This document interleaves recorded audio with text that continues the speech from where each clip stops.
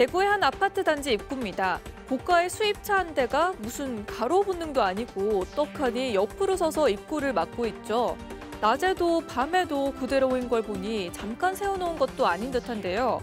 온라인 커뮤니티에 사연을 올린 글쓴이는 차주라고 주장한 사람이 자기 아내가 아파트 세대주라며 관리사무소 측에 입주민 차량 등록을 요구했다고 전했는데요.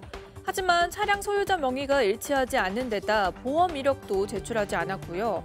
결국 등록 불가 판정에 불만을 품고 이런 일을 벌였다고 설명했습니다. 어린이 통학 차량과 출퇴근 차들이 뒤엉키면서 입주민 불편이 이어졌고요.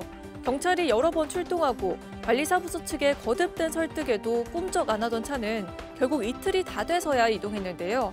이른바 길막 주차로 인한 갈등 하루 이틀이 아니죠. 누리꾼들은 아무리 사유지라도 다수에게 피해를 주는 행위는 공권력을 통해서라도 막아야 한다는 반응을 보였습니다.